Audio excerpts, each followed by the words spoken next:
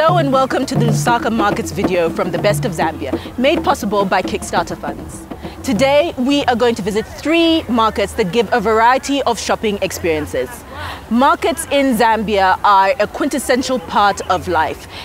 You can really experience Zambian culture by going to markets. So we're gonna go around Lusaka. It's gonna be a great time. We're gonna have a great shopping experience. So let's go. Unsanctioned markets are still a problem in Lusaka. Government has taken strides in the last 20 years to formalize businesses by creating spaces in historical market areas for people to be able to do commercial work. One such place is City Market, where you can get all sorts of things from great produce to the famous salaula, which literally means pick and take. If you don't like ready-made clothing, you can also find a tailor here to make something for you.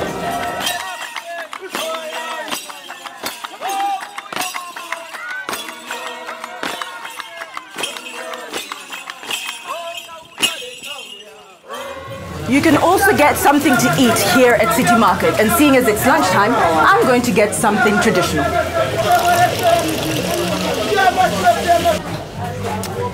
Okay, so what we have here is nshima, which is made from maize meal or mealie meal as we like to call it. Um, this is our staple food. And I opted for the fish. Uh, this is very common. We call it bream. It's also known as tilapia. It is nicely fried, and I have got rape, which is of the kale family. Um, so um, let's see how this uh, tastes.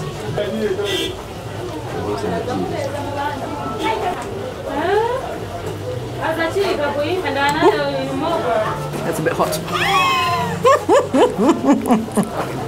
so the way that you eat nshima is you take off a bit with your fingers, and then you press it until you can make a little pocket.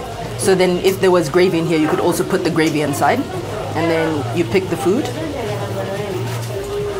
Mm-mm-mm.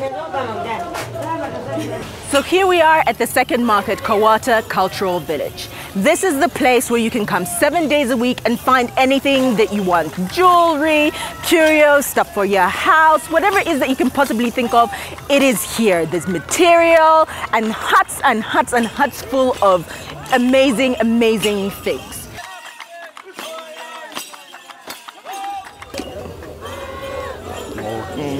Mm. 60 50 50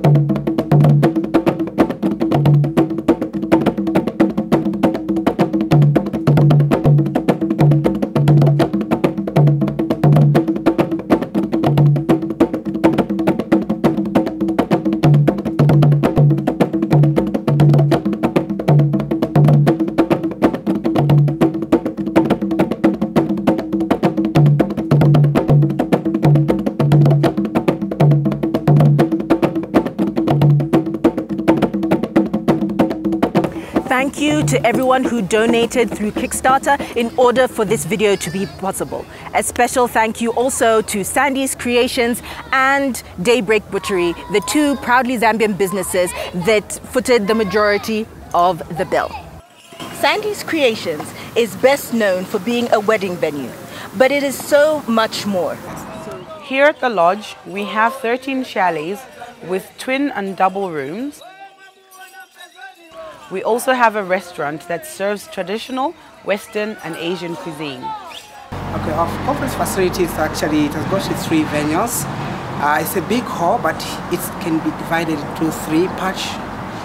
And then um, those uh, venues actually we accommodate uh, different kind of that actually have conferences in Sandy's creation.